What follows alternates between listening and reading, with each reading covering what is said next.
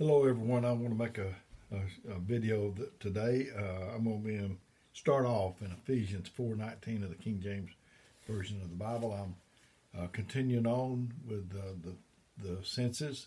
I did the sight, seeing, hearing, smelling, tasting, or tasting, smelling, and now today is feeling.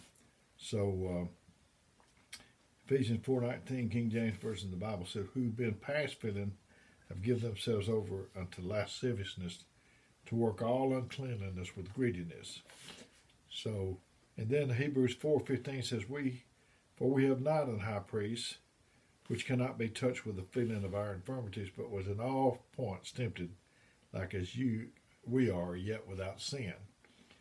Acts 17.27 said that they should seek the Lord if haply they may feel after him and find him, though he be not far from every one of us.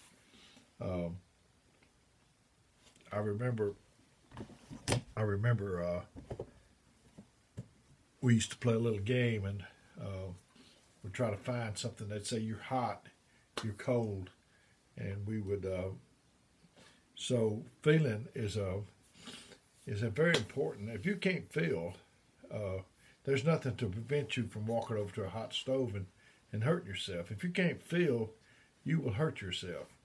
Uh, and I relayed the story about uh, Brother Craig Turner, Sister Michelle. They went in a restaurant and they was um, uh, sitting there and had walked an older couple with a, a, a, a young lady. It wasn't a, a little girl.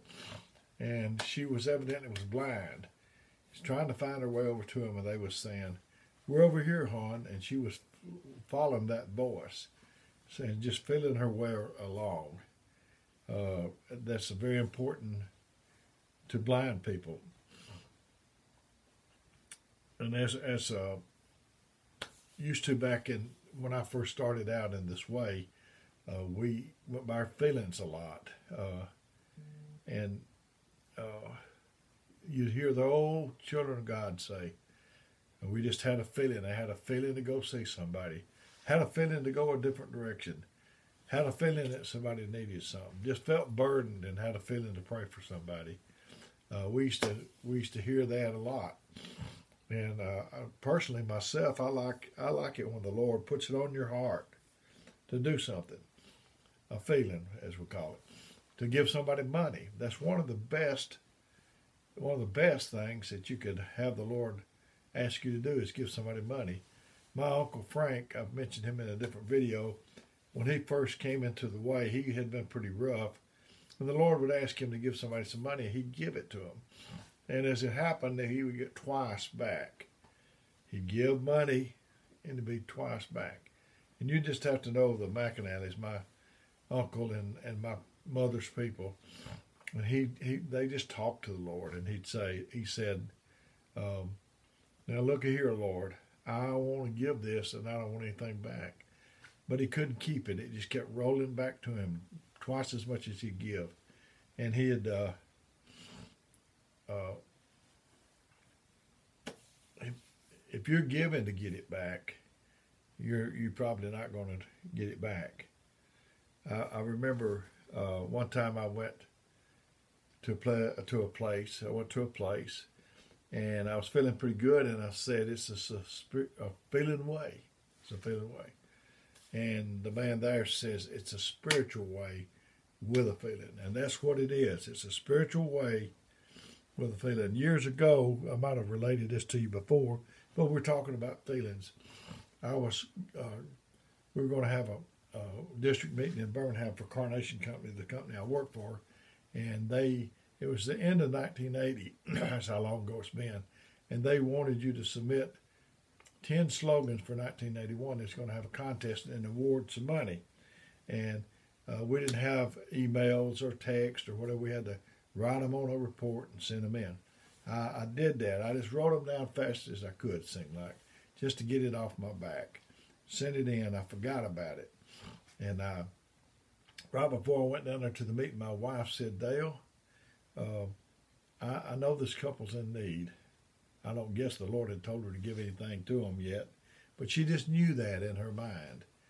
And she said, What about us give them $25? Which that was a, a lot of money in 1980. It'd buy you a week's worth of groceries. I, I said, That's fine with me.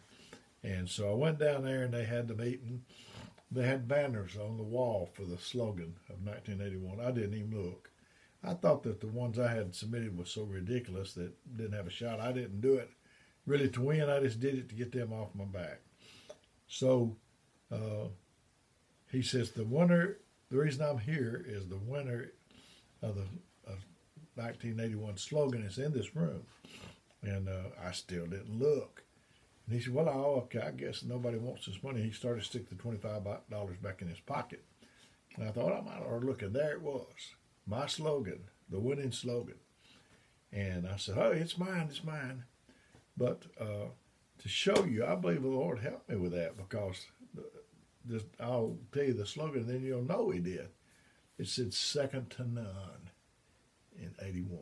I mean, my goodness, you know, surely something could beat that. But the Lord knew that that we had that giving heart was going to be at twenty five dollars to that sister. I came back home and my wife met me at the door. You know uh, how wives do; they're wonderful, wonderful. But they met you at the door. The car tore up. The kids were rowdy, uh, whatever. Sometimes it's not always good news.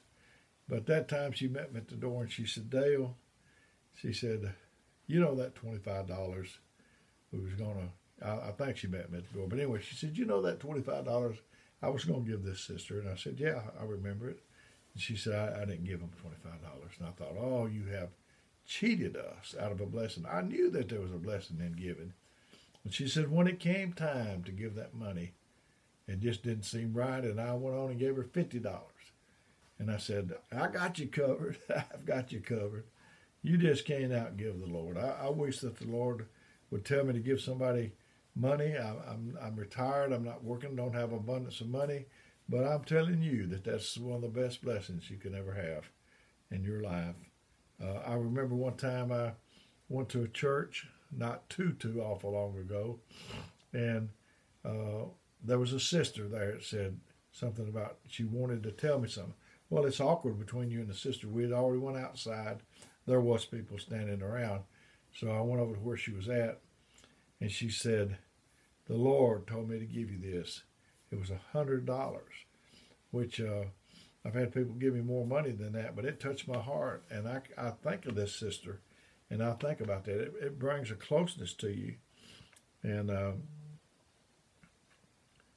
I I told you just recently about this brother that was my hero in the Lord.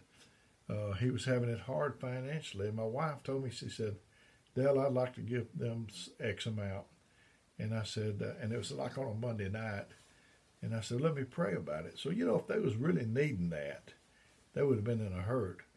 But God was, uh, I prayed, and God told me to give them more than that. And I told my wife, I said, God said, give them this. So that night I went over there at his house. He was real receptive. I said, I've he said, Come on in, come on in. We went in and sat down. We just talked a little small talk, chit chat, I call it, and uh, really about nothing. And he sensed that I had come on a mission on on on uh, business for the king. And he said, I guess you didn't come for this, did you? You got something you need to do? And I said, Yeah. And I think I might have had it in an envelope. I didn't know how to give it to him. And after all, as I said, he was my hero. So I went over there stuck that envelope in his pocket. And I heard later that when I left out of the driveway, he yelled in there, he, he called in there to his wife and said, How much money did we lack on the rent? And she said, So much, just the amount I gave him. Not trying to, uh, as they say, blow my own horn, but I just praise God that that I, I forgot a lot of money received or give, but I'll never forget that. Uh, it's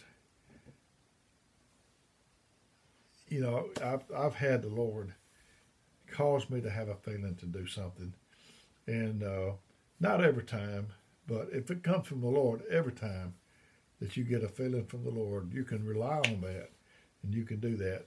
You don't have to have a feeling to help somebody. You don't have to have a feeling to go to church. You don't have to have a feeling to be good to your wife. That's part of commitment. Uh, you just do it because you know that's the thing that you need to do. But I'll tell you, there's a reward in it. I've really enjoyed this. It's completed the series on on senses, seeing, hearing, tasting, smelling, and today is feeling part of it. So I hope it's helped you and benefited. If it has, let me know. That's good news to know. If there's something else you want me to address, I thought at first when people would make a request, I thought, I don't know if I could do this now, but I've found every time so far that the Lord has helped me uh, and directed me to, to be able to get it together. So may the Lord bless you is my prayer.